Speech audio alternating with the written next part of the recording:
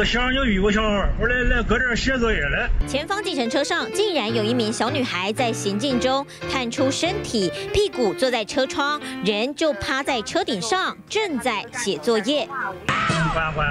这个这个学生，我是觉得可以。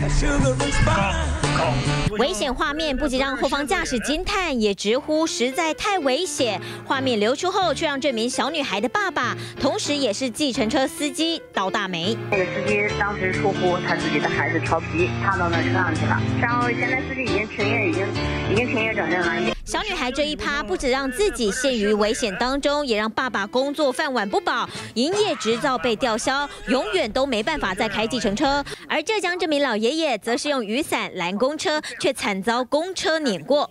他手一伸了摸不到，因为我爸眼睛不太好嘛，伸手就是摸不到车门嘛。这个驾驶员就是提前关门了，关门的时候呢，我爸就是着急了，那个拐杖伞拦一下，就叫他停下来。家属控诉司机故意不在老人家，害他摔倒在地被车碾。公车驾驶则是否认，坚称没看到。双方各说各话，驾驶暂时被停职，而目前整起案件都还在调查当中。记者张慧玲报道。